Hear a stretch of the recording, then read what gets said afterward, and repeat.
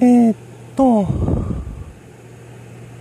多治見もそうなんですけど、その、昨日行った有松もそうでしてそれはね、二つの町の物語だなと。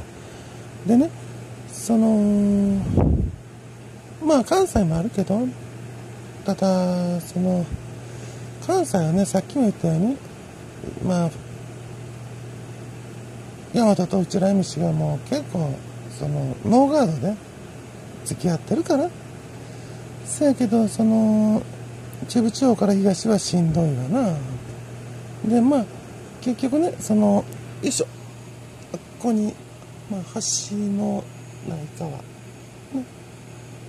っていう部落の話があるんやけど、えっ、ー、と、スミ・スエっていう人が書いた本ね。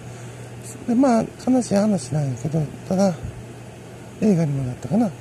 で、まあ、だそういう経験もしてへんねんな。門真って丸ごとブラックやったから。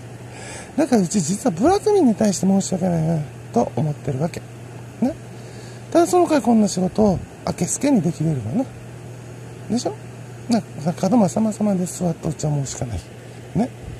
で、ただその、これね、これもうちの書いてる東家と銀の蝶とこの話は、二つの町の物語系の話だけど、これ多治見のことやってん。昔うちこれ多治見で書いてん。昔の次元では。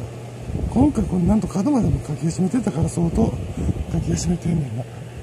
だいぶ書いてるわけで。で、その、まあこれラノベっぽい話かな。童話、童話、童話っぽいし、ライトノベルっぽくもあるけど、主人公幼稚園児やねん。幼稚園児の女の子どうか。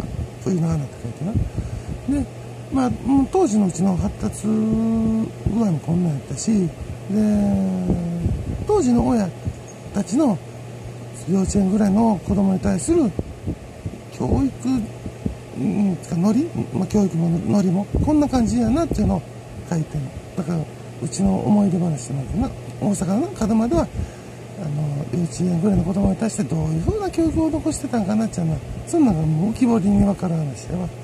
でただ舞台はこれ多治見やったから近畿的がついたこっち来て喫茶店はしごしてるうちにだんだんだんだん思い出してきてる。で昔書いたなと思って。でそれ全く同じストーリーにはしません。毎回ね微調整してるって言ってるでしょ。これはアスガルド系の話ね。